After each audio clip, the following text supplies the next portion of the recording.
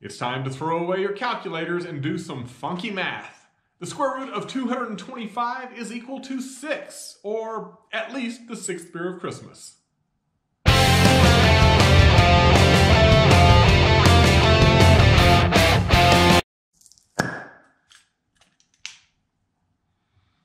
Wow.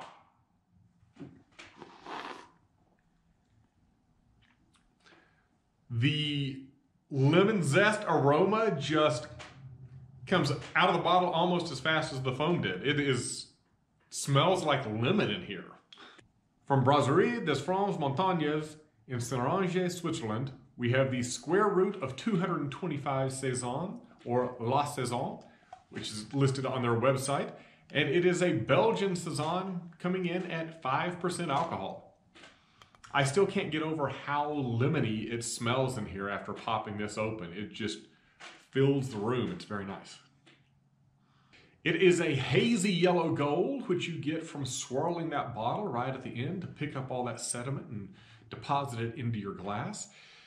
It's got a nice little cap of foam on it, and the way it's cleaned to the side, I can already tell there's going to be a fair amount of lacing with this beer. There is, a, like I said, a lot of lemon. There's a little bit of yeast with it, and a little bit of white pepper, and just a touch of apple cider vinegar. Overall, it's a very inviting aroma. There's a lot of lemon zest in this, as well as a lot of funk from the wild yeast. A little bit of white pepper, some hoppiness on the end, as well as a mild oak flavor. It's a very light feeling beer with some sharp carbonation. It is crisp, with a little bite of sour around the edge, like a tart pear or a Granny Smith apple, definitely leaves you salivating and wanting another drink.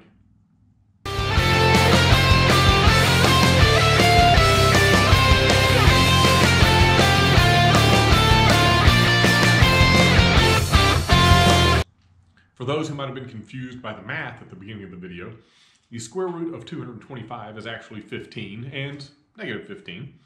But why is this named? It's the square root of 225 Saison? Beats me.